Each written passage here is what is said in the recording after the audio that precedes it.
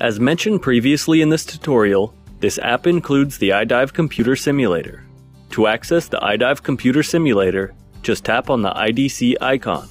The iDive computer screen has three main components the control bar at the top, the computer screen in the center, and the dive profile graph at the bottom. To start a dive, just tap the play button, and to pause a dive in progress, just tap the pause button.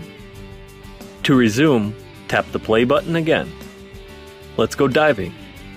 To descend, just tilt the iPhone downward. The more you tilt the iPhone downward, the faster the diver will descend. Note that we limited the maximum descent speed to about 33 meters per minute or 100 feet per minute.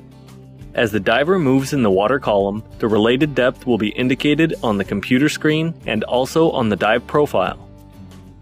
To stop the descent, tilt the phone to the neutrally buoyant position.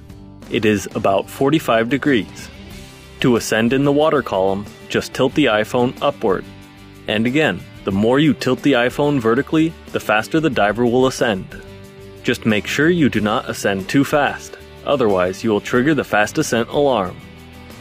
Another neat feature available in this app is the Time Warper. You can use the Time Warper to accelerate the time of the dive. The default time warping value is 1, and it is indicated on the bottom right corner of the dive profile windows.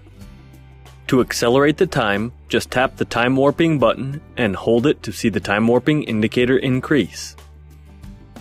The longer you hold the button, the faster time will pass up to a maximum of 32 times faster.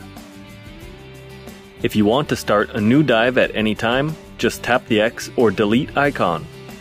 To complete a dive, you need to ascend to the surface and pause the dive.